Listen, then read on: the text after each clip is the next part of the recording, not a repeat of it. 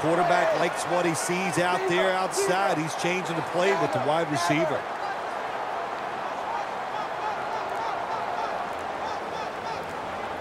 First down at the 30.